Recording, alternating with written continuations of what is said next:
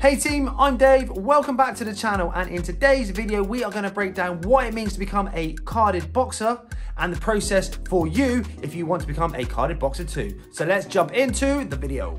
So whether you are looking at getting into the amateur game or you're in the amateur game and you keep hearing this, this term, this definition, carded boxer. I'm going to break down what that actually means and how you can become a carded boxer too. So if you'd watched the, uh, the quick promo, you saw that I flashed up one of these. This is a medical card, hence the carded boxer term.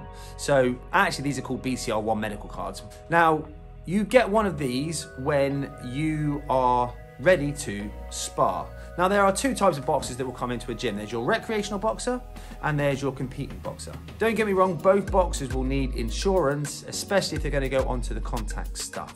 So a recreational boxer may come into the club for a little bit of fitness and then may wanna try out some contact work to try out some of the skills that they've learned in their boxing fitness and their boxing technical classes to try and man in a real life situation. Great. They move on to sparring. They need to be insured. So to do that, they will have a medical, they will get a recreational form filled out, and then this will uh, insure them for contact drills in the club. So, so sparring, conditioned and open sparring, it will, it will insure them for that.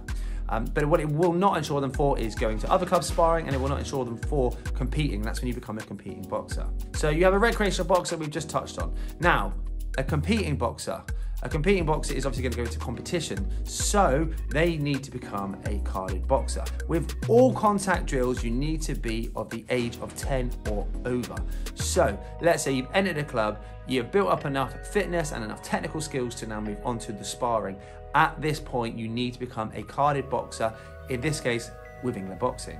So the process in doing that is, I'd like to say fairly simple. The First thing you need to do is to, or your club will do for you, is book you a medical. In that medical, they will go over a few of your vitals, they'll ask you some questions, and they'll make sure that you are fit to box. Once you've got that signature and that thumbs up from the doctor that you are fit to box, you can then register with England Boxing.